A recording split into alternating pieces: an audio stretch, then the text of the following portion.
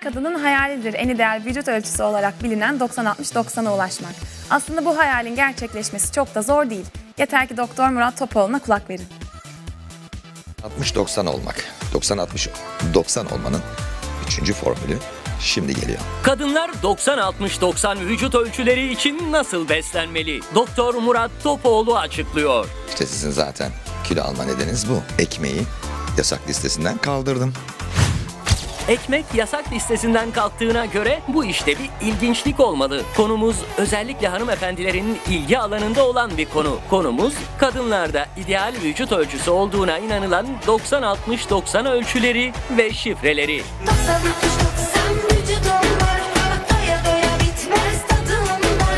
Birlikte yeni başlangıçlara sloganıyla fazla kilosu olan insanlar için 25 yılı aşkın bir süredir derin araştırmalar yapan Doktor Murat Topoğlu 90-60-90 ölçüleri için önemli bilgiler açıkladı. 90-60-90 olmak. Hep çocukluğumuzdan beri duyduğumuz bir şeydir. Özellikle bayanların olması gerektiği gibi düşündürülen. Ama artık 90-60-90 çok fazla bir kıymeti yok. Önemli olan şu. Kalçamızda gençliğimize nazaran daha fazla mı büyüdü? İşte karnımız, göbeğimiz daha fazla mı çıktı? Kıyafetlerimiz olmuyor mu?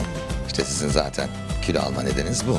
Kilo aldığınızın ancak bu şekilde fark edebilirsiniz. Sağlıklı olmak için hadi diyelim ki siz 90-60-90 yapmak için gelin küçük tiyolar vereceğim. Doktor Topoğlu'nun sağlıklı bir beden, kıyafetleri güzel bir şekilde taşıyan bir beden için çok basit önerileri var. Sabah ilk kalktığınızda çok önemli. İlk işiniz ne biliyor musunuz?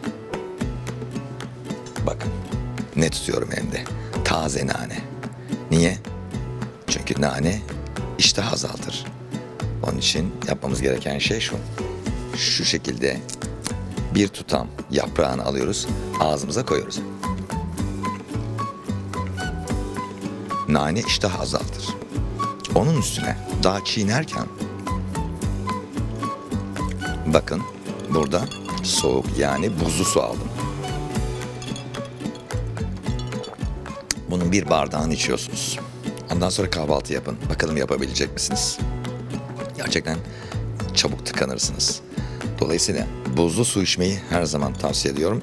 Eğer boğazlarınızda bir probleminiz yoksa. Peki normal suyu ne zaman içeceğiz? Normal suyu, sıcak suyu sadece bağırsaklarınız çalışmıyorsa, işte sabahleyin kahvaltıdan önce işte 3-4 tane kuru kayısı veya kuru erik yiyip üzerine sıcak su içebilirsiniz. Orada sıcak suyu tavsiye ediyorum. Ama normal şartlarda buzlu su içelim, kilo verelim.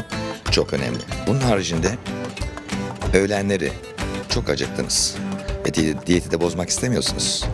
Ve biliyorsunuz ki ben ekmeği yasak listesinden kaldırdım. Onun için tam buğday ekmeği alıyorum gördüğünüz gibi. Bu tam buğday ekmeğinin üzerine bakın ne yapacağız. Ne mi yapacağız? Şurada biraz karabiberimiz var. Çocukken çok acıkırdık. Annemiz bunu bize çok yapardı rahmetli olan annem. Buradan anıyorum kendisini rahmetli. Ama sizlere inanılmaz tok bir şey ve kilo verdirecek bir şey. Ben küçücük böyle gördüğünüz gibi hafif karabiber koyuyorum. Bu tam buğday ekmeğinin üzerine. Tansiyon probleminiz yoksa biraz da üzerine tuz atıyorum. Ve yemeye başlıyorum. Bunu yerseniz gerçekten tıkanırsınız. Yemek yiyemezsiniz. Deneyin. Göreceksiniz. Ekmek seçimi tabii ki önemli. Ne demiştim? Tahıl ekmeğini, özellikle tam tahıl ekmeğini yasak listesinden kaldırdım. Günde 2 ya da 3 dilim yiyebilirsiniz. Dolayısıyla 90-60 90 olmanın üçüncü formülü şimdi geliyor. Böyle bir tam tahıl ekmeğini elimize alıyoruz. Bakın ne yapacağız üstüne. Burada balımız var. Bu baldan şöyle bir kaşık kadar koyuyorum. Ve bunu güzelce yayıyorum.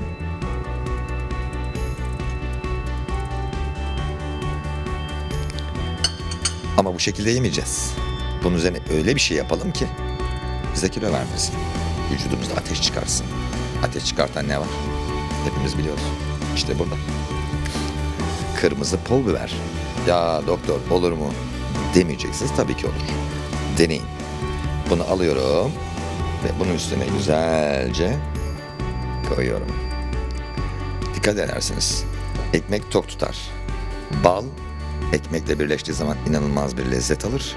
Ama üstündeki pul biberle beraber 90-60-90 olursunuz. Ama normal diyetinizi bozmayacaksınız. Bunları öğün olarak kabul edeceksiniz. Öğün yemeğiniz bu. Başka bir şey yemeyeceksiniz yanında. Afiyet olsun.